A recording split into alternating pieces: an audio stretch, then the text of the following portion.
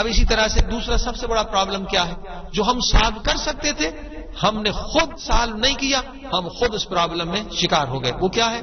دیکھیے، یورپ، امریکہ میں اس وقت بھی اور پہلے بھی لادینیت کی وجہ سے، بے دینیت کی وجہ سے جو سب سے بڑا پرابلم ہے، وہ ٹینشن اور اسٹریس ہے۔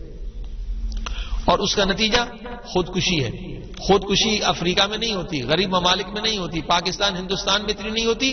سب سے زیادہ آپ جا کے سوسائڈ خودکشی لکھیں، گوگل میں، دیگر سرچ میں، سب سے زیادہ سوسائڈ کہاں ہوتی ہے؟ امریکہ میں ہوتی ہے یا کسی یورپین کنٹری میں ہوتی ہے یا جاپان میں ہوتی ہے یعنی پیسے والے ملکوں میں ہوتی ہے۔ غریب ملکوں میں نہیں ہوتی۔ کیوں؟ یہ ٹینشن اسٹریس کیوں؟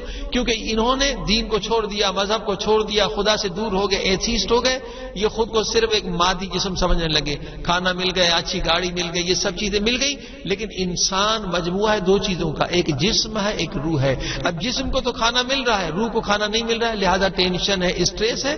اور جب اسٹریس کا علاج نہیں ہوگا، نتیجہ سوسائڈ ہے، دنیا بھی گئی، آخرت بھی گئی۔ اب سب سے زیادہ سوسائڈ کی بیماری جو ہے، وہ یہاں پر ہے۔ اور اسی وجہ سے اب اس کا علاج مسلمانوں کے پاس ہے، اس کا علاج قرآن کے پاس ہے، اس آپ دیکھیے، یہ تجربہ کر کے دیکھیے، کسی بھی کافر کو بٹھائیں، عیسائی کو بٹھائیں، یہودی کو بٹھائیں، اگر اسے ٹینشن ہے، آپ دیکھیے قرآن کی ایسی سورے ہیں، چند سورے ہیں، آپ صرف اسے کہیں، یہ سورے تم پڑھو یا اسے پڑھائیں۔ یقین جانیے ایک چند منٹوں میں اس کا ٹینشن ختم ہو جائے گا۔ قرآن کا یہ معجزہ ہے لائیو میرا کل ہے۔ واقع آپ آزما سکتے ہیں، ہزاروں کا علاج کر سکتے ہیں۔ یہ اللہ کے اسما ہے۔ یہ اسپتالوں میں آزمایا بھی گیا ہے۔ جو ٹینشن کے مریض تھے، کئی اسپتالوں میں، یہ کئی میگزین میں بھی چیز آ چکی۔ اللہ کے پاک اسما ہے۔ یا رحمان یا رحمان، یا اللہ، یا رحمان، یا اللہ، یا رحمان۔ اس طرح سے بہت سارے نام ہیں، ننانوے نام ایک ہزار نام ہیں۔ ان اسماء پروردگار کا ورد ایک خاص تعداد میں جب کریں تو ٹینشن ختم ہو جاتا ہے، اسٹریس ختم ہو جاتا ہے۔ عزیز و اس سے آپ دوسروں کا اسٹریس بھی ختم کر سکتے تھے، اسلام کی تبلیغ بھی کر سکتے تھے، ان کے پرابلم بھی سالو کر سکتے تھے۔ لیکن ہم خود دین سے دور ہوتے چلے گئے اور آج مسلمان بھی اسی اسٹریس کا شکار ہے، اسی ٹینشن کا شکار ہے اور بہت سارے جو بے دین ہیں، مسلمان ہیں، مگر خودکشی کر رہے ہیں۔ پتہ ہے خودکشی والا انسان جہنم میں جاتا ہے۔ خودکشی کیوں؟ خودکشی کے بعد تو توبہ بھی انسان نہیں کر سکتا۔ خودکشی ایسا گنا ہر گنا کی توبہ ہے، خودکشی کی نہیں، کیونکہ مرنے کے بعد تو توبہ ہے نہیں۔ اللہ نے توبہ کا دروازہ کسی کے لیے بند نہیں کیا، ہدایت کا دروازہ کسی کے لیے بند نہیں کیا۔ لیکن جو خودکشی کرتا ہے، وہ خود لات مار کے توبہ کا دروازہ بند کر دیتا ہے۔ خودکشی کا دروازہ یعنی رحمت کا دروازہ بند کر دیتا ہے، ہدایت کا دروازہ بند کر دیتا ہے۔ اب موت کے بعد تو کوئی توبہ نہیں ہے۔ لہذا اب آپ دیکھیں، اس ملک میں آج بھی آپ ان کی مدد کر سکتے ہیں۔ صرف اسلام کے پاس سالوشن ہے۔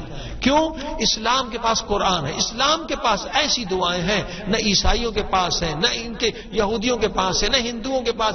ساری دنیا کے مذاہب کو آپ سامنے رکھیں اور اسلام خصوصاً اہل البیت کی دعائیں دیکھیے کسی کے پاس نہیں ہے۔ زبور کو اٹھائیے، زبور کیونکہ تحریر شدہ ہے، بہت چھوٹی کتاب ہے، سام جسے کہتے ہیں۔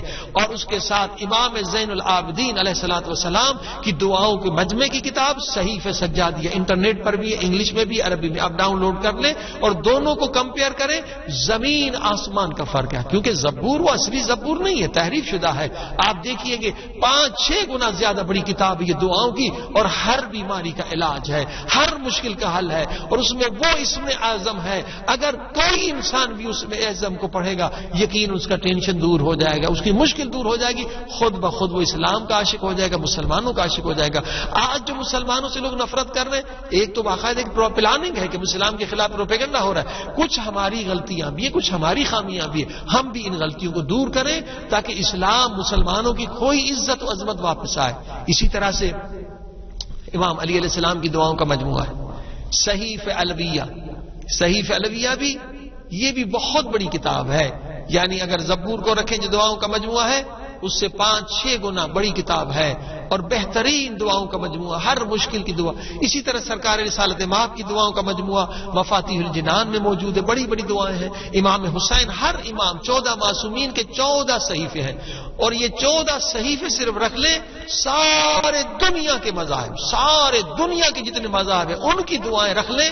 تو یہ دعائیں اس قدر زیادہ ہے، اس قدر عظیم ہے کہ ساری دنیا کے مذاہب چودہ معصومین کی دعاؤں کا مقابلہ نہیں کر سکتے۔